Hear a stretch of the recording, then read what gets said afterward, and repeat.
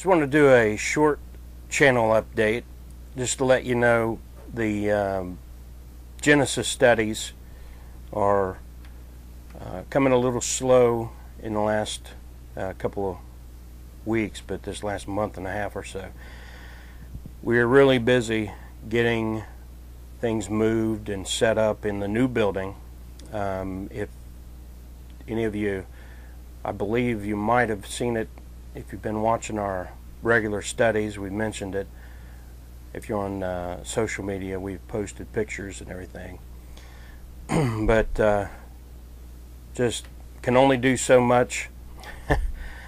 and uh, I always tell everybody, you do the best you can. That's all you can do. And so that's what we're doing here. So be patient. We're going to get back on uh, track with Genesis and finish up. Uh, just have a few more studies, and then uh, go ahead and jump right into Exodus by popular demand. and uh, just keep things going. So just pray for us as we get moved into the new location. It's a it's a bigger place. We'll be able to hold more people, but also um, we have this building 24/7, and uh, don't have to worry about reserving it or uh, working around other people. And so uh, we're just praying that it uh, opens up more opportunity for uh, the preaching of the gospel, teaching of the Word of God, and good biblical fellowship.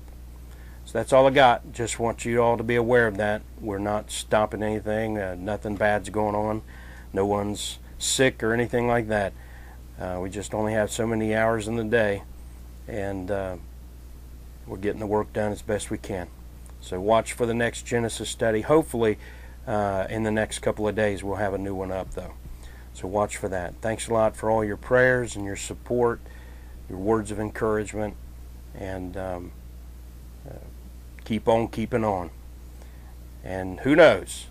We could be raptured out of here before we get our next Genesis study up. Amen.